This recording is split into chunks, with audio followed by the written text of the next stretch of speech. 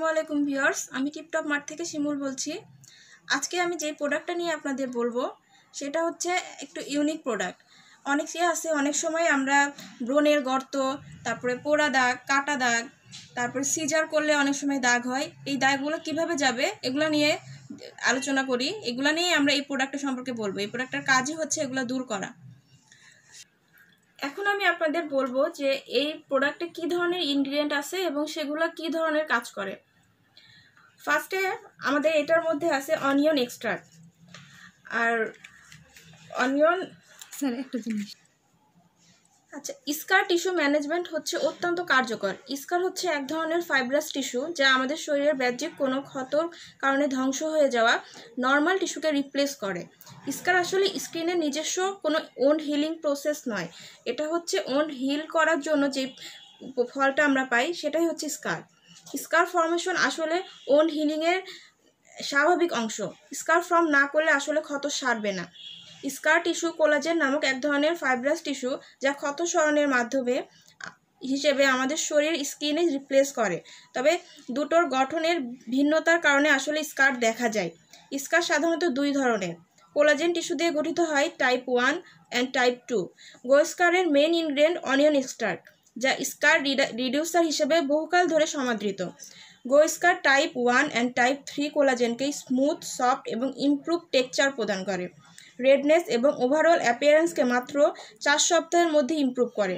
গোস্কারে আছে অ্যালামটোইন যা স্কার টিস্যুকে ময়শ্চার করে এবং ক্যারাট ক্যারাটোলাইটিস ইফেক্ট দেয়।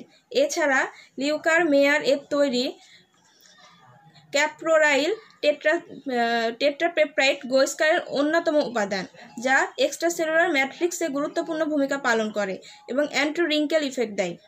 Hypertrophic scar keloid, new or old scar, burn marks, acne marks এর ক্ষত নিয়মিত ব্যবহারে মাত্র ছয় থেকে আট সপ্তাহে ভিজিবল রেসপন্স পাওয়া যায়।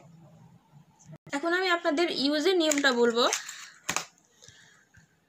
তারা ফার্স্টে আপনি ক্রিমটা নেবেন, নিয়ে আপনার যেখানে ফার্স্টে আমি জেলটা নিব, নিয়ে যেখানে ক্ষত থাকবে, সেখানে আপনি প্রথমে ঘড়ি কাটার দিকে ঘোরাবেন এক থেকে দুই মিনিট, তারপরে ঘড়ি কাটার বিপরীত দিকে, তারপরে উপরের দিকে, তারপরে নিচের দিকে, তারপর ডান দিকে, তারপরে বাম দিকে। এরপর আমরা স্মুথলি এটা ম্যাসেজ করব, পুরা ক্ষতটার ওপরে তারপরে এটা রেখে দিব, যাতে এটা ভালোভাবে অ্যাবজর্ব হয়। আর এটার যে, এটা আমরা সাধারণত আড়াই থেকে তিন মাসের মধ্যেই আমরা একটা ভালো রেজাল্ট পাবো। আর এটার একটা সাইড ইফেক্ট বা আমি আপনাদের প্রিকশন হিসেবে বলতে পারি, ব্রণ থাকলে এটা আমরা ইউজ করব না।